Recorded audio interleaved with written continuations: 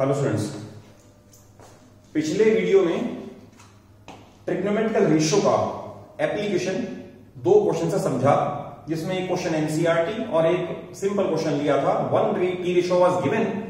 और बाकी two T ratios cos theta और टेन थीटा की वैल्यू फाइंड करनी थी। थोड़ा सा इसको वन स्टेप अहेड जाते हैं। सपोज़ ये क्वेश्चन है if sine A is five by thirteen then find the value of this expression ये एक्सप्रेशन में सबसे इजी क्वेश्चन है। एक्सप्रेशन आगे और हार्डर हार्डर केसेस हो जाएँगे but basic will remain same तो बेसिक ये है कि जिस टी रेशो की वैल्यू चाहिए आपको एक्सप्रेशन में, उन सब टी रेशोज की वैल्यू निकाल के रख लो और उस एक्सप्रेशन में पुट करके सारे एल्जेब्रा के रूल्स आपको पता है, वो एज इट अप्लाई करते जाओ और we get the value in numerical figure जैसे इस केस में साइन ए नाउ रिमेंबर अगर साइन ए गिवन है तो A should be marked at acute A यहाँ मार्क नहीं करना बी क्लियर अबाउट इट या बी या सी कुछ भी मार्क कर दो। अगर साइन ए गिवन है तो ए आपने यहाँ मार्क कर दिया, जहाँ थीटा मार्क करते थे।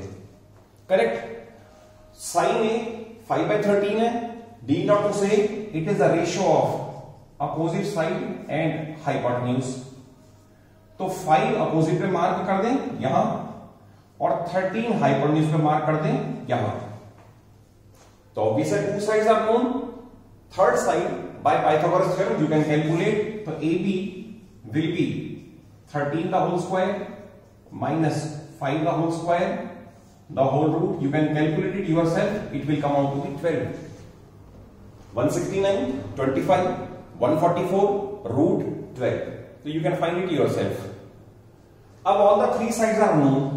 और एक्सप्रेशन में साइन ए की वैल्यू चाहिए। साइन ए ऑलरेडी गिवन है। एक और चाहिए टेन ए तो we find tan A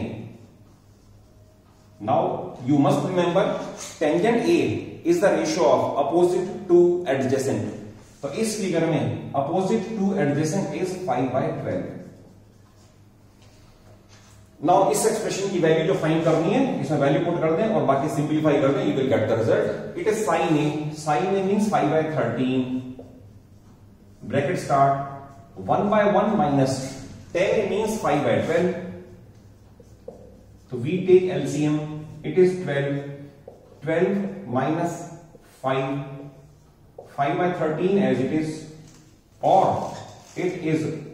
5 by 13 into seven by twelve. और मल्टीप्लाई कर दें तो it will be thirty five और thirteen into twelve it will be one hundred fifty six तो value of this expression is thirty five by one hundred fifty six and it is the answer